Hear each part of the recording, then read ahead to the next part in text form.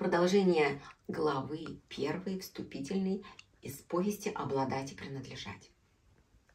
Часто приходили и Алешины друзья и постерегали его, чтобы забрать долги. Из них хорошим был только один.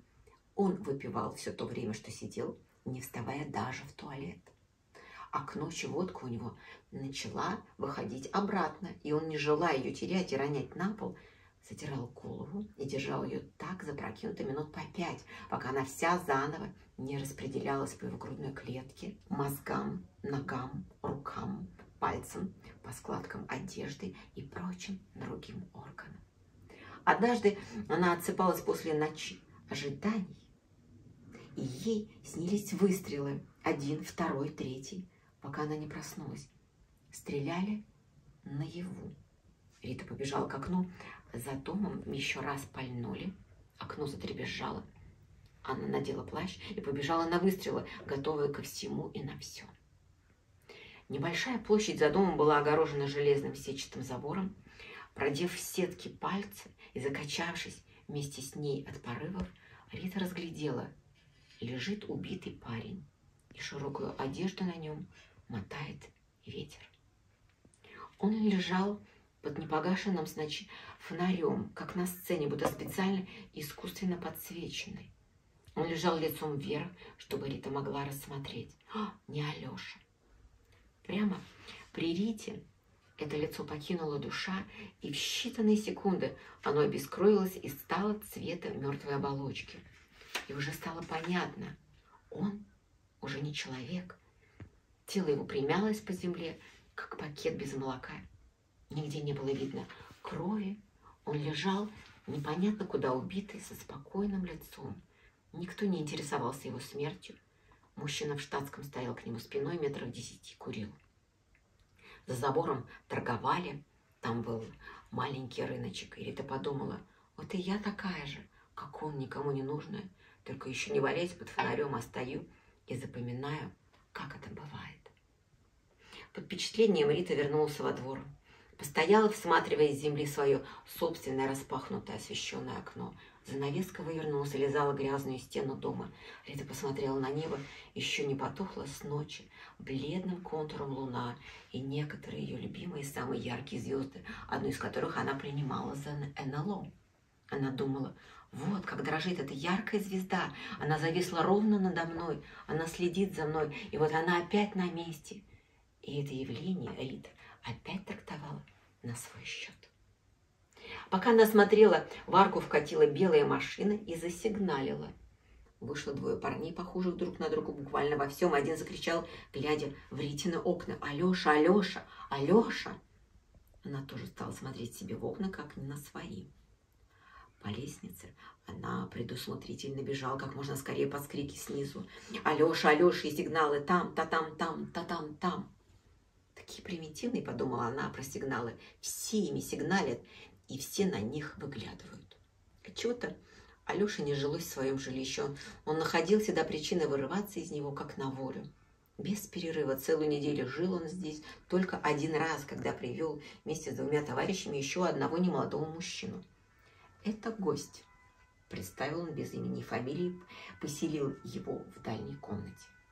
Постельное белье не принял от Риты и она встречалась с незнакомцем только когда кормила его в кухне. Гость всегда молчал и затвердевшим взглядом смотрел в окно. Через пять дней он вдруг бросился в это окно и по не очень широким архитектурным портикам побежал мимо всех комнат, пугая голубей и жильцов, и выбрался в подъезде через окно на лестницу. Сбежал, закричал один из товарищей Алеши, и все выдав Рите этим скриком. Его бросились догонять, но прошло уже много лет, но он так не нашелся. И когда Рита узнала, что мужчина был заложником и что иногда его беззвучно били, после побега она отмывала ту комнату и нашла немного крови. Алеша сказал, как он не сорвался? А если бы он упал? Не знаю, что сказать соседу. Он пробежал мимо его окон. Ой, даже коты не ходят по этим портикам, не рискуют, сказала Рита. В этой квартире происходило много горя. Рита раскрывала сундуки и находила вещи живших когда-то здесь давно женщин. Фотографии красивых лиц валялись по царапанным коробкам, никому не нужные, чтобы их вспоминал кто-то. И вот теперь очередь дошла до нее. Она была поселена в этой старой квартире вместе всех этих уставших и умерших женщин, чтобы любить Алешу вместо них. Одна из них, самая красивая и молодая, приснилась Рите. Пройдя сквозь слой земли, она оказалась с ней лицом к лицу на маленькой кухне с ярким электрическим освещением. Обойдя Риту, женщина с несчастливым взглядом обняла ее за плечи, крепко-крепко навалившись сзади. Что она сказала? Рите было не дано запомнить, но, вернувшись наверх и опять пропуская слой за слой земли перед глазами, она уже была в некой эстафете, как будто бы принята. Закрывшись на несколько засовов, она вспомнила, как совсем недавно еще приняла на, на свой счет еще одну бегущую женщину. Дело было так. Рано утром, часов в девять, а это было рано для Риты, она ехала в такси. Вдруг все впереди, едущие машины, стали тормозить, сигналить, а потом очередь дошла и до Риты. Посмотреть, что же там случилось. Ярко светило солнце, было холодновато, все ходили уже в плащах, а тут бежала женщина лет 30. Бежала она неумело, как уточка. Раскачиваясь и размахивая руками, никуда не оглядываясь, босая с голыми белыми ногами, не худыми, не толстыми, а такими женскими, одетая в одну только коротенькую сорочку. И все у нее было на показ, потому что бежала она и без трусов, и вообще без всего, только в белой расстегнутой распашонке. Как она оказалась на этой улице? Там, там даже и домов поблизости не было, да еще в таком подробном солнце. «Хорошо, что живая», — сказал шофер. Лицо у бегущей было испуганное, подпухшее, жеванные волосы развивались от ветра. Водитель нажал на газ, а Рита подумала, вот и мне надо остерегаться. Я ведь такая же, как она, только пока одета и еду в машине.